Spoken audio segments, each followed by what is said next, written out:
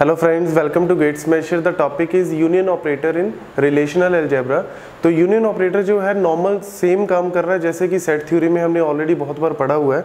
जैसे कि अगर मेरे पास एक सेट है एस वन और उसमें एलिमेंट्स है वन टू थ्री एक सेट है एस टू और उसमें एलिमेंट है थ्री फोर फाइव तो यूनियन जो है, हमने ऑलरेडी बहुत बार देखा हुआ है कि नॉर्मल काम कैसे करता है। दोनों सेट के अंदर S1 यूनियन S2 का आंसर क्या आएगा? दोनों सेट के अंदर जो वैल्यूज़ अलग अलग है, वो तो डेफिनेटली आएँगी। बट जो वैल्यूज़ कॉमन है, उनको कितनी बार लिखना है? एक बार। मतलब one two three four five तो यानी जो नॉर्मल जैसे हमने सेट थ्योरी में देखा हुआ है यूनियन ऑपरेटर यहाँ पे भी यूनियन ऑपरेटर का फंक्शनैलिटी जो है, वो बिल्कुल सेम ही है। हम इसको एक अच्छे एग्जांपल से देखते हैं। जैसे कि मेरे पास यहाँ पे दो टेबल्स ही हैं।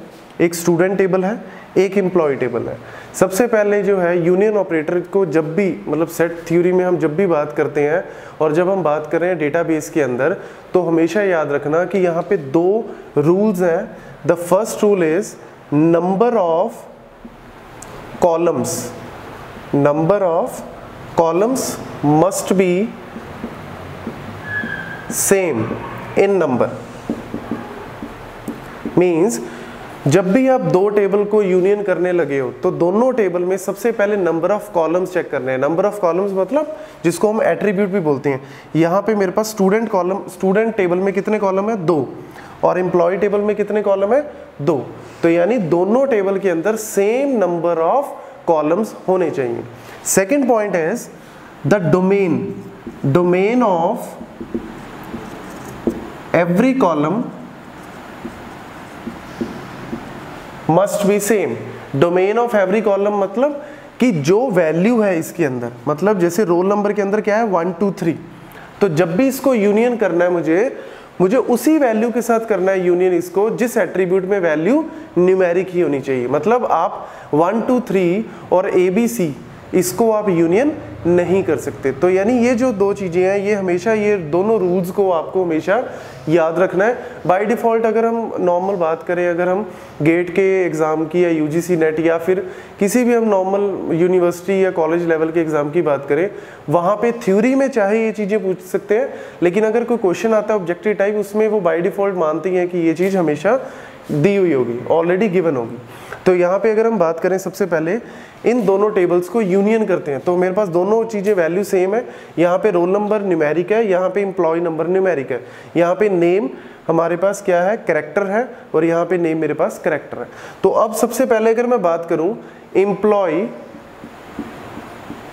and student employ and student को अगर हम यूनियन करते हैं दोनों टेबल्स को यूनियन करते हैं तो मेरे पास आंसर क्या आना चाहिए यहाँ पे? वन ए मतलब जो फ़र्स्ट रो है वन ए यहाँ पे कहीं पे वन ए है? Yes there is already one A तो वन ए को हम कितनी बार लिखेंगे? सिर्फ़ एक बार।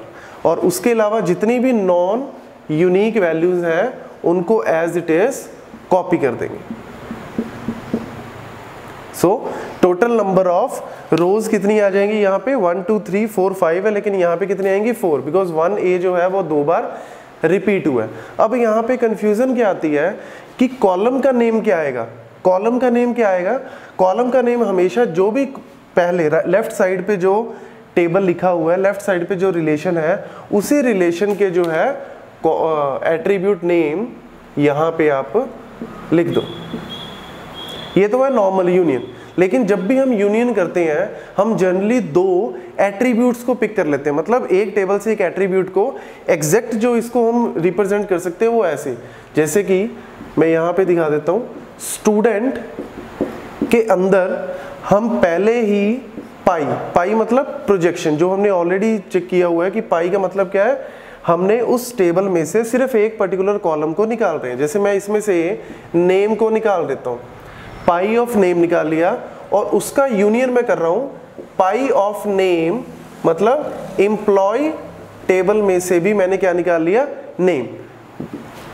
स्टूडेंट टेबल में से भी मैंने पाई ऑफ़ नेम कर लिया एम्प्लॉय टेबल में से भी मैंने पाई ऑफ़ नेम कर लिया। मतलब अब यानी कि इन दो टेबल्स को डायरेक्ट यूनियन नहीं कर रहे, इसमें से मैंने इस कॉलम को ले लिया और इधर से मैंने इस कॉलम को ले लिया। अब इन दोनों कॉलम्स को हम डायरेक्टली क्या कर रहे हैं? यूनियन क्या हम इन दोनों कॉलम्स को यूनियन कर सकते हैं? येस बिकॉज़ दोनों में करेक्टर डेटा है। मतलब दोनों का जो डोमेन है वो क्या है? सेम तो इसकी आउटपुट क्या आएगी? The output will be column का नेम क्या बन जाएगा?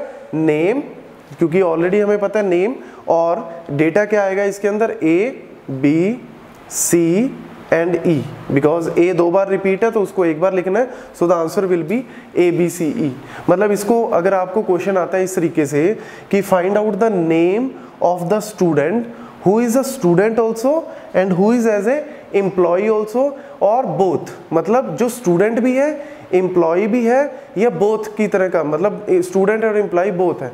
तो यहाँ पे अगर मैं बात करूँ ए ए देख लिया आप स्टूडेंट भी है एम्प्लॉय भी है।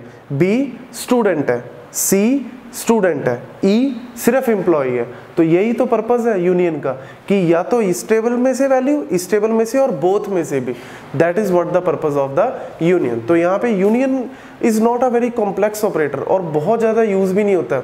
ऑल दो सीक्वल में भी आएगा सीक्वल में भी हम देखेंगे कि यूनियन को कैसे हम लिखते हैं, लेकिन यहाँ पे आपको जो मेजर पॉइंट याद रखना है, वो सबसे पहले तो ये दो पॉइंट कि नंबर ऑफ़ कॉलम सेम होने चाहिए, दो टेबल्स के अंदर जब भी उसको यूनियन करना है, और डेटा भी है वो सेम होना चाहिए।